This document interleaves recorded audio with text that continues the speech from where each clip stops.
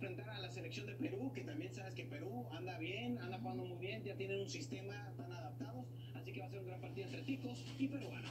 Pero bueno, nos vamos a la pausa, diciéndole pura vida.